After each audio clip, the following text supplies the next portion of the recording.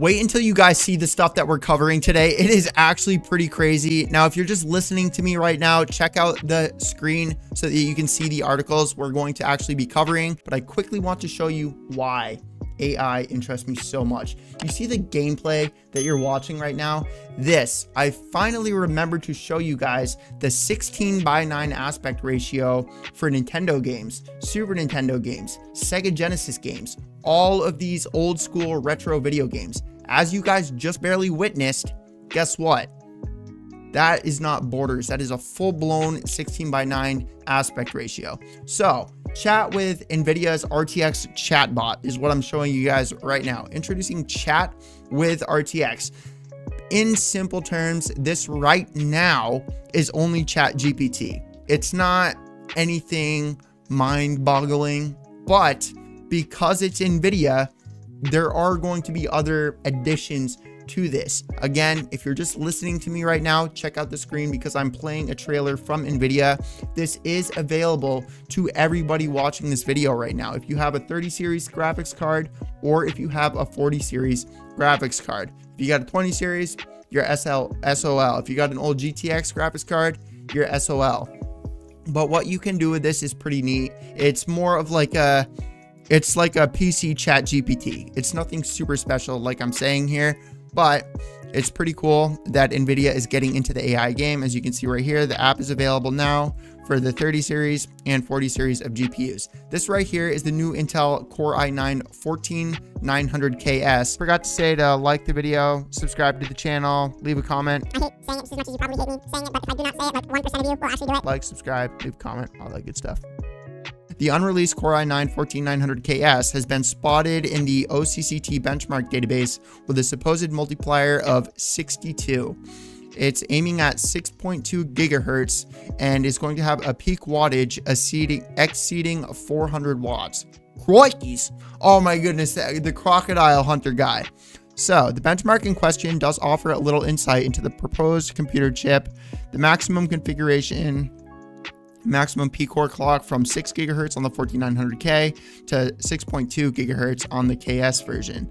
So, the P cores appear to be operating around 5.5 gigahertz at 409 watts and 5.7 gigahertz at 387 watts.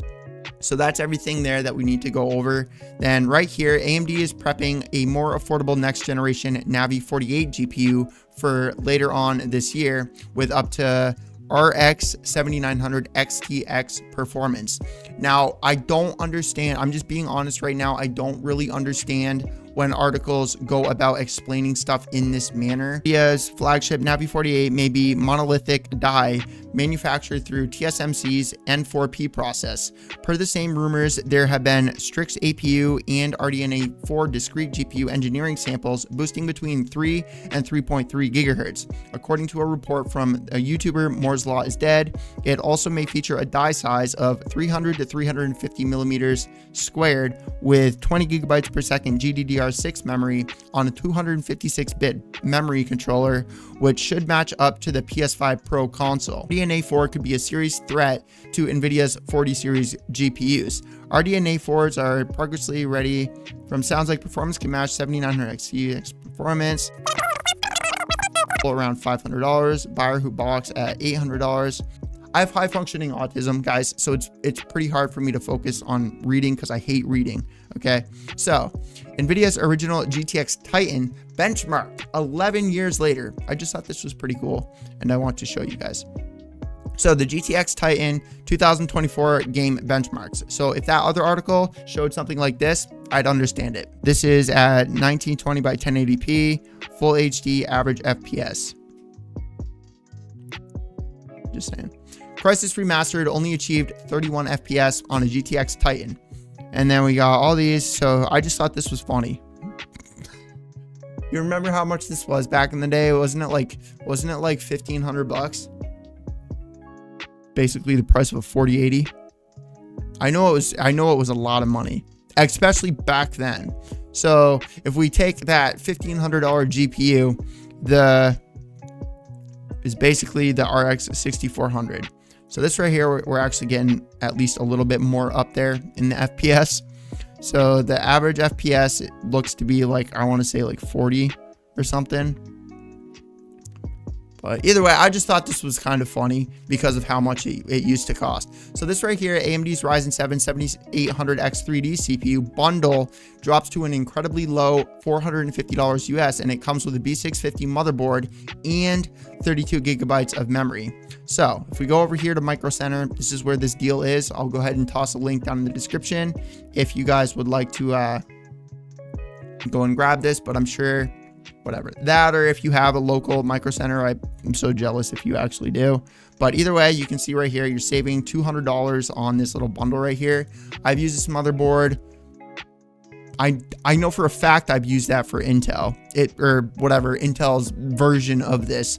I'm pretty sure Intel's version of that is a B B760, but I could be wrong about that. Um, but I have used it. The motherboard works perfectly fine, and it does have the BIOS flash, which you're not going to have to do for this because it's dedicated for AMD. But either way, I just thought I just wanted to share that with you because that's a super killer deal. So NVIDIA's new Pro GPU costs less than $650. The RTX 2000 Ada generation arrives with 2,816 CUDA cores and 16 gigabytes of VRAM. Wow! Everybody's so excited. RTX 20,000 Ada generation is up to 1.6 times faster than the previous RTX A2000. So if we come down here, the, eight, the RTX 2088 generation specifications.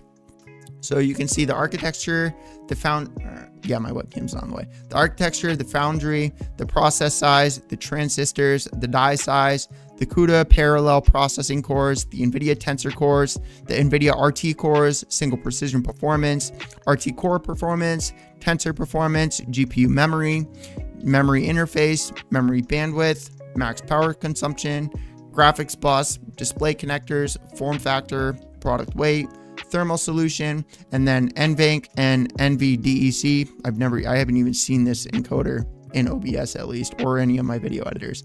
But then we have the 4000 series, the 2000, and then the A2000. So that's what the comparison is. And then if we come down here, we got more, we got the graphics card, and then we also have the A2000, the CAD application performance, rendering performance, virtual reality performance, 3D modeling performance, generative AI performance, video editing performance. So it's pretty good for, I mean, I don't know why they're releasing this graphics card right now. I'm guessing it's to get rid of hardware.